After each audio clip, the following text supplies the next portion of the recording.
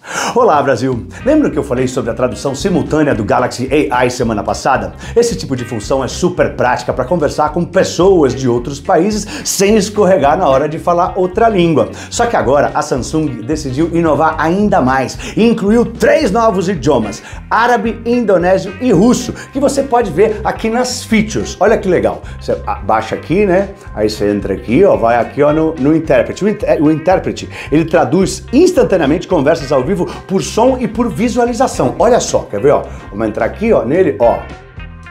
A Samsung é a melhor do mundo. Samsung is the best in the world. Tá vendo? Aí você pode entrar aqui para baixar o novo idioma, você entra no configurações, né? Aí você vai aqui no pacotes de idiomas e você traz, ó, suponha que a gente vai lá para Coreia, ó. Baixa o coreano, ó, vai começar a baixar.